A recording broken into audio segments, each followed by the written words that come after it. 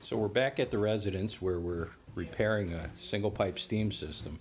And we've removed the steam baseboard, installed some new cast iron radiators, and made the changes we spoke about to the boiler. So let's go downstairs and take a look. We've added the surge tank and we've added the vapor stat controller. And the system seems to be working perfectly now. Nice smooth operation. We have the vapor stat. It allows the boiler to run till approximately one and a half PSI. And once it shuts off, it drops down to about a quarter of a pound before it turns the burner back on.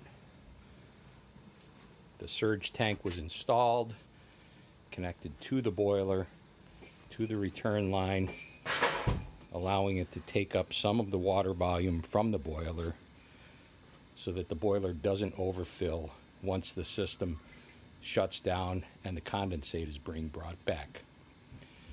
Boiler's quiet, there's no more banging, and the owner seems extremely happy with the end result.